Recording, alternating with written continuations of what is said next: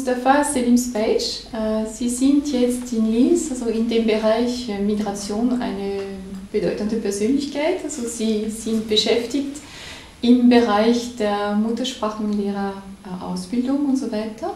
Und Sie sind tätig an einer Schule. Könnten Sie uns ein bisschen Ihren beruflichen Alltag beschreiben? Was machen Sie denn so in diesem Rahmen? Ich bin Hauptschulfachlehrer für Sprache und das habe ich, äh, mit dieser Lehrung, äh, diese Lehrung habe ich in Bosnien gemacht und dann einige Jahre in Bosnien gearbeitet mhm. und danach unmittelbar vor dem Krieg in Bosnien bin ich nach Österreich gekommen und seit damals, praktisch seit 1992, bin ich Muttersprachenlehrer für, für Bosnisch-Kroatisch-Serbisch in Enns äh, überwiegend in einer Schule, manchmal mehrere Schulen, aber äh, im Grunde genommen in, in, der Hauptschule, äh, in der Volksschule 1 in Enns. Äh, seit einigen Jahren äh, beschäftige ich mich auch mit Organis Organisation, äh, mit ich bin nämlich Vorsitzender von Muttersprachenlehrer in Oberösterreich mhm. und seit September auch in Österreich. Und also meine Aufgabe ist, äh, Muttersprache zu unterrichten, äh, kulturelle Begegnungen zu organisieren, äh, überhaupt alles, was, was Integration in, in einer Schule, in einer Gemeinde betrifft. Mhm. Wie könnten Sie den äh, Migrationskontext in Oberösterreich bezeichnen? Also was sind da die, äh, die dominanten, vielleicht also Gruppen, die es da gibt? Also wie läuft es von, von sich? Also wie ist die Kooperation mit den Schulen? mit der Gemeinden. In Oberösterreich sind die größte Migrantengruppe, die sind die Leute aus Bosnien und Herzegowina. Mhm. Und ich bin selber aus Bosnien und Herzegowina und diese Milieu, dieses Milieu kenne ich ziemlich gut. Mit, äh, Zusammenarbeit ist, läuft meistens gut. Besonders wo die größere, größere Vereine gibt. Aber überhaupt die, die bosnische, die Leute aus Bosnien-Herzegowina sind ziemlich integrationswillig und die integrieren sich sehr, sehr, ziemlich schnell.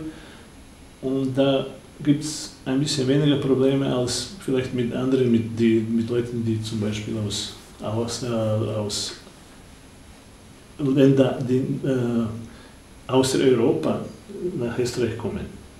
Und da, weil die überhaupt ein, äh, sozusagen es ist einfach ein bisschen leichter, sich an eine nähere Verhältnis, an ein näheres Land anzupassen. Mhm. Oder äh, anzupassen ist vielleicht nicht das äh, schönste Wort, aber überhaupt zu integrieren.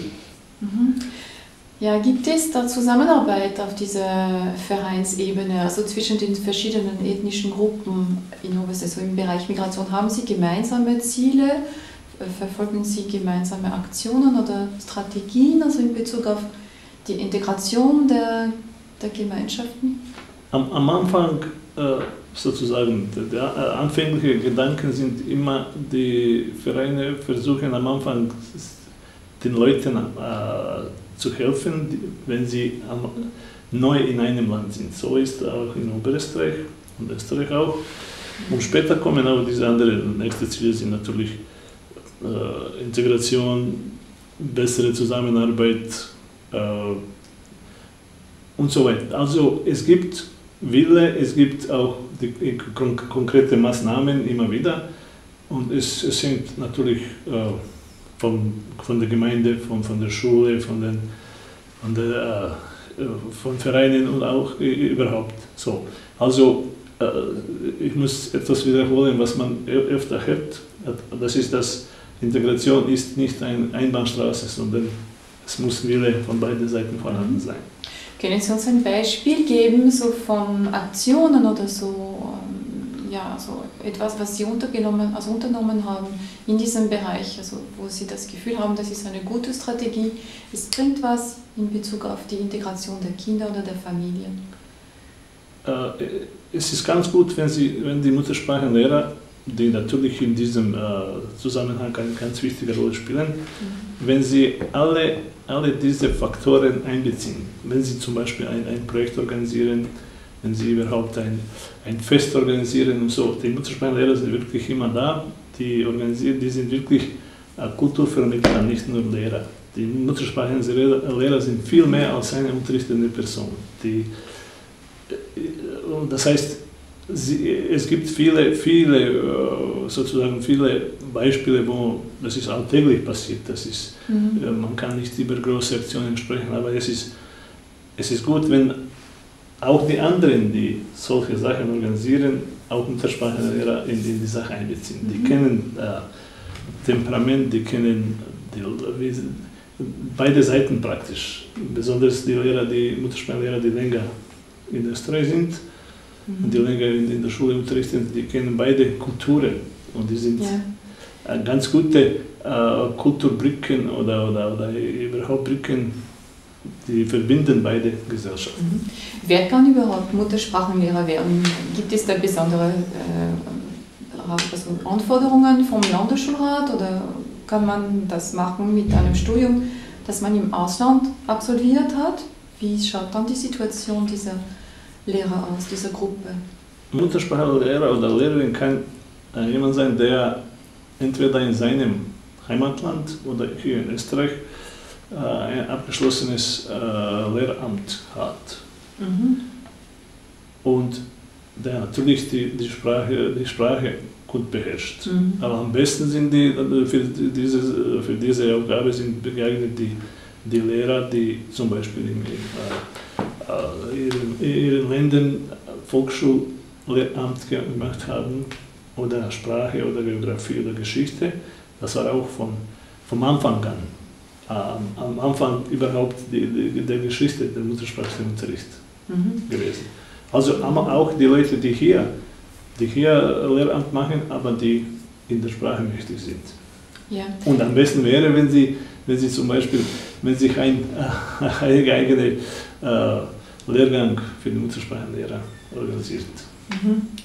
Sie meinen, dass die Qualifikationen, die Sie im Land praktisch mitbekommen, nicht unbedingt immer ausreichen für den Kontext in Oberösterreich also, oder in Österreich an der Schule? Oder wie meinen Sie das? Äh, Diesen Lehrgang, worauf soll es sich dann beziehen?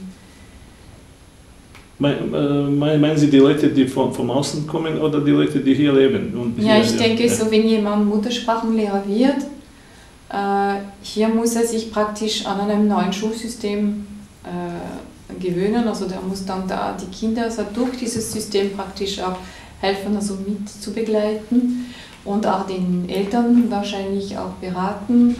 Äh, wo bekommt so eine Person die notwendige Ausbildung für diese Tätigkeit?